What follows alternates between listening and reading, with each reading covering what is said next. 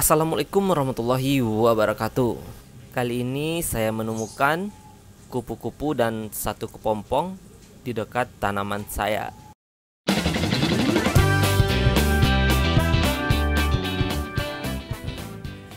Nah, ini adalah salah satu ulat yang sudah mulai berubah menjadi kepompong. Posisi dari kepompong ini uh, tidak jauh dari tambulan pot saya yang dekat rumah uh, kemungkinan ini adalah salah satu ulat yang memakan daun dari tanaman saya dan sekarang sudah mulai berubah menjadi kepompong. Dua hari sebelumnya kepompong ini masih berupa ulat. Nah ini videonya saya ambil dua hari sebelumnya.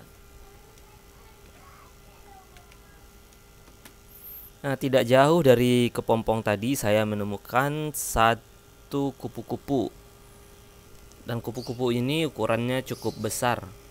Karena ukuran kupu-kupu ini besar jadi kita bisa melihat keseluruhan tubuhnya itu dipenuhi oleh bulu-bulu halus.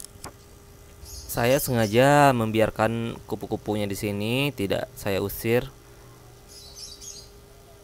Nanti jika ada telurnya yang menempel di daun nanti saya akan buang daunnya ke semak-semak nah, biar ulatnya itu berkembang di semak-semak.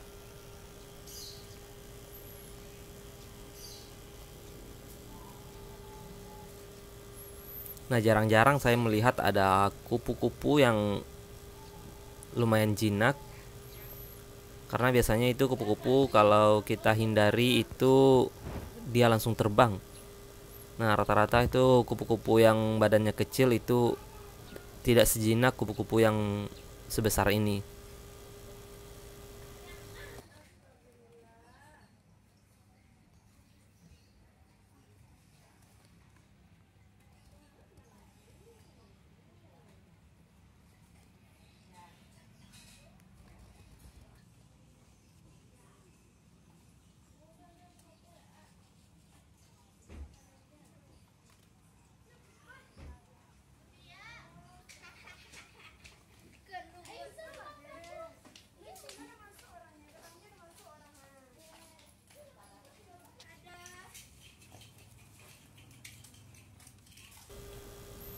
Nah, sekianlah video singkat saya. Semoga bermanfaat. Jangan lupa di subscribe, like, share, komen. Wassalamualaikum warahmatullahi wabarakatuh.